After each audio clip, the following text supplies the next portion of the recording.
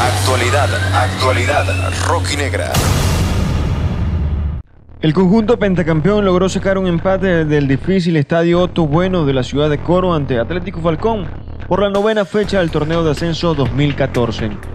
Con este empate a cero goles, los rojinegros ya llegan a 15 puntos y se ubican cuartos en la tabla de clasificación, siendo rebasados por Zamora Fútbol Club B, que llegó a 16 puntos en esta fecha.